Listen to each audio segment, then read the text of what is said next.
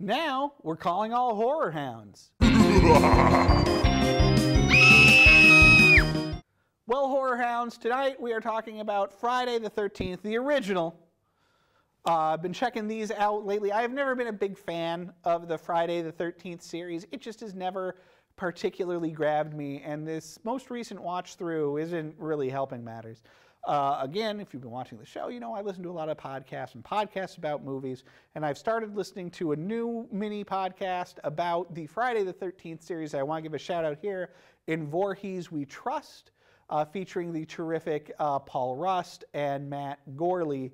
Uh, so started out my rewatch, of course, with the original Friday the 13th. And the big trivia about Friday the 13th, if you don't know it already, I guess we'll put a spoiler up for a movie that's like 30 years old is that Jason, the uh, you know the notorious, iconic killer of the Friday the 13th franchise, is not in this one. Instead, the killer is his mom, as played by actress and you know game show panelist Betsy Palmer. I'm guessing that there aren't a terrible number of you guys watching this uh, watching this program that have any familiarity with Betsy Palmer. Um, but I know her, and my grandparents know her primarily as a panelist on um, now, not What's My Line, Not to Tell the Truth, You've Got a Secret, the 50s guessing game game show when, on which she was always a super charming presence. Well, on this one, in this movie, she is Jason's mom who is killing off teenagers because they she feels that the neglect of a different group of teenagers led to the death of her son Jason decade you know a decade or more earlier uh, even though as it turns out Jason isn't dead and also Betsy Palmer doesn't as uh, Mrs. Voorhees doesn't show up until like the last 15 minutes of the movie and that's one of the big problems with this movie is that so this is it's set at camp crystal lake summer camp Teenage counselors have come in and they're killed off one by one.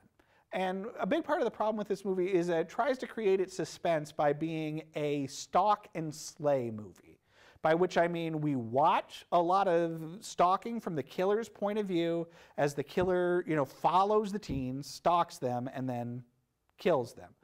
But the problem is, is that the teens never really know they're in danger. There aren't, there's not really a discussion of the Jason story or that people have been dying or anything like that in this movie. The teens are largely caught unaware, and that for me really kills the suspense in this and makes it pretty boring, as most of the movie is spent watching somebody watch teenagers.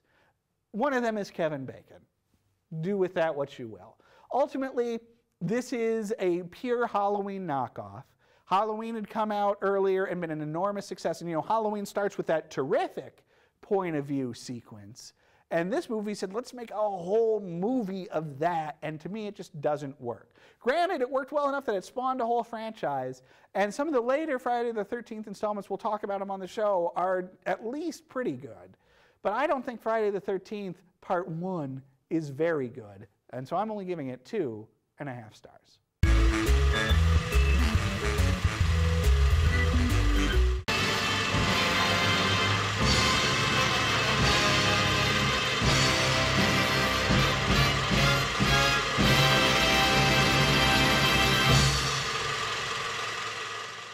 And don't forget to visit our website, northmetrotv.com slash everymovieever.